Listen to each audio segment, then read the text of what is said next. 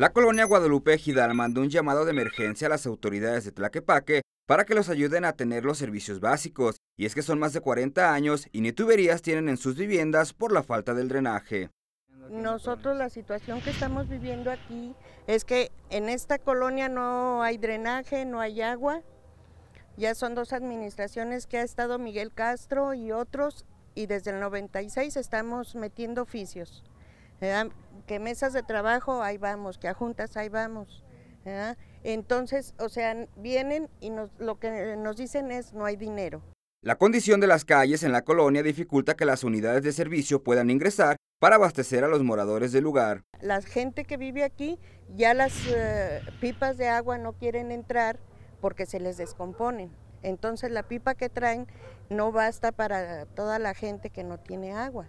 No hay drenaje, incluso eh, las de aquí ya tienen escrituras, pagan predial y no tienen los servicios. El olvido al que los tienen sometidos el ayuntamiento de Tlaquepaque ha hecho que los habitantes de Guadalupe Ejidal recurran a los medios como en su derecho para ver si así las autoridades los ayudan.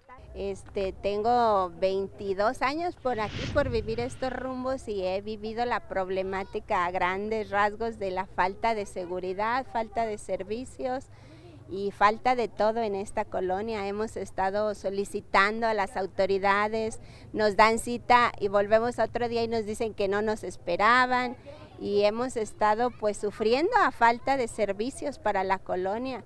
Es una infinidad, es un servicio tras otro eh, que desde seguridad, agua, drenajes, alumbrados, y este pues estamos buscando los medios de que alguien nos escuche. Así las cosas, el llamado es de calidad urgente para las autoridades de Tlaquepaque, ya que con el presente temporal de lluvia, la situación en la colonia empeora, pues las calles siguen abriéndose y se vuelven cada vez más peligrosas.